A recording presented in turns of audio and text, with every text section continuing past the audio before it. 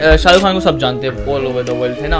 तो अभी ना रिसेंट एक इंटरव्यू था मेरे को नहीं पता वो कितना पुराना है। तो एक जैसे होते हैं ना वो रिपोर्टर्स की आदत होती है कि मतलब ये कुछ ऐसा बोले जिससे हम्म। उंगली करने की। उंगली करने की मिर्च मसाला निकले उसमें से व्यूज़ मिले। तो एक रिपोर्टर बोलता है okay sir so so you are a good Muslim and good Indian है ना? Like we can say you are a Shekhar Krishna Shekhar Krishna तो एस आर के ठीक है? शेखर कृष्णा आर है है। वहाँ पे शाहरुख खान बोलता है शेखर राधा कृष्णा भाई वहाँ पे तालियाँ हो बजाते सब जो रिपोर्टर होता है उसका मुँह। बंद होता है।